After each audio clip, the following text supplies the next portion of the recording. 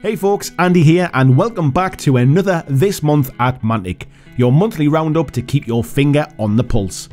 Well, February was a little bit busy, wasn't it? But we're smashing down the door to March Kick that puppy open. and coming out swinging. First off, I want to take an opportunity to say a massive thank you to everyone who helped us make the Epic Warpath Kickstarter a roaring success. With your support, we managed to unlock 4 extra factions, taking the total up to 8, so when this game delivers and launches fully, we're all going to get to see lots of variety on the tabletop. We'll be continuing to work away on making it the best it can be, but rest assured, we'll keep you all up to speed on the progress until it's in your hands. March started with a bit of a bang, with us dropping our teaser trailer and announcing the name of our new game, Halo Flashpoint, and it's fair to say a few folks seem to be interested in it. It will be launching directly to retail in the fall, or autumn if you prefer, and we have so much more to show you.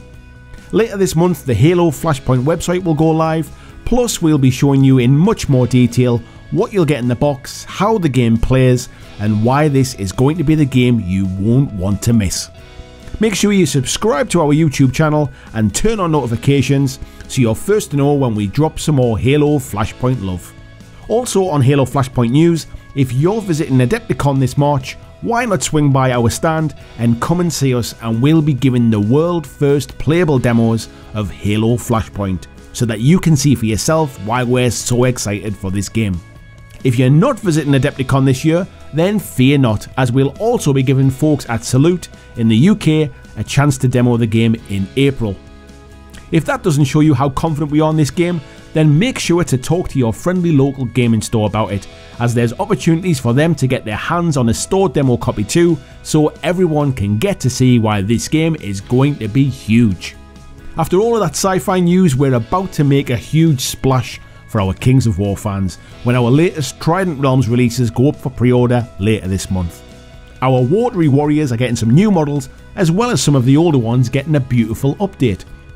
You can pre-order a Trident Realms ambush set, containing 20 of the updated River Guard infantry, 3 of the brand new plastic dam busters, plus the ambush rulebook, the Trident Realms information sheet, and all of the bases that you'll need to get these to the battlefield.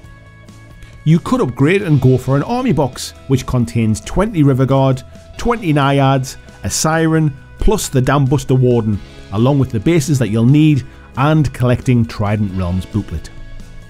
Or if you've already made your mind up that you're going deep with this army, then the Mega Army is amazing value and gives you 40 River Guard infantry, 6 Dam Busters, 20 Naiads, a Nooker, a Depth Horror Eternal, plus all of the bases and the collecting booklet. Along with these sets, we've released both the River Guard and the Dam Busters as standalone regiment boxes, a Dam Buster Arbalist, a Dam Buster Pond Warden, a Tidal Swarm Regiment, and a Coral Giant. There's so much exciting stuff for Kings of War this month. We can't wait to see them hitting people's painting desks and what you all do with them. This month's vault seems to be feeling a little off colour as it's very much plague infested and undead. And not only that, but for the first time, everything is full models where you don't need anything else to make use of these files right away. Starting off with our Armada fans, we have the Salamander XL ship, the Drake, sailing into the vault, along with the Salamander Flyers, the Scorchwings. We've also added a whole host of sea monsters for your games of Armada in the Enraged Narwhal, the Hydra, the Merfolk, and the Sea Serpent. For our sci-fi fans, there's Plague Leapers and Plague Murderbirds, plus the Plague Teraton, a personal favourite of mine. Lastly, for our fantasy fans, we've added a Halfling Vampire, Orc Zombies, an Undead Goblite, and some Undead Zombie Trolls too. Along with that, for those of you who want some extra characters for your RPGs, or maybe you want to add some variety to your Kings of War armies, we've added in the Dungeon Dead from our Dungeon Adventures range. So much stuff this month that if you're not already signed up to the Vault, then this month might be a good time to dive in. Well, that's it for this month. How about. And don't forget to subscribe, give the video a like, and I'll see you all next month.